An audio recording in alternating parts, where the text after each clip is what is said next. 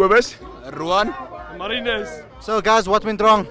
Uh, I think our discipline in the bowling wasn't too good. Too good. Too many extras. Too many. Too many catches. Drop too many catches. Miss hits. We didn't get enough boundaries. And obviously, do you think this is India playing better than us, or do you think this is the South Africa this being poor? just the B s- This is just the B side. I can see it. We're not playing our best. Where's AB? Where's AB? I think our batting want is not on standard. Our batting must be a lot better. If, if our batting is going to be better, we're going to be a lot better in our scoring. And look here, AB's ruled out for the whole series. So the best. This is probably. We're lost our series. So we're gonna lose our series because AB's not here. So who do you think um, can stand up for the Proteas besides AB de Villiers, of course? Uh, Andre Klaasen, I must tell you, in the ODIs he showed us he can bat. So I just think he, mu- they need to put him up the order, maybe a three, and we can win. I think I think Heinrich Klaasen and David Miller must step up and, and they're going to win the series for us. The only one who's gonna stand up against South Africa is India.